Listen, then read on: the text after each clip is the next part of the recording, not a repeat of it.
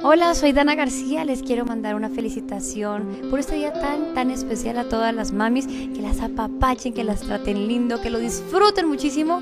Y también las quiero invitar a que no se pierdan próximamente el lanzamiento el 16 de mayo a las 7.30 de la noche por el canal de las estrellas de su telenovela Las Amazonas. Así que ahí las esperamos.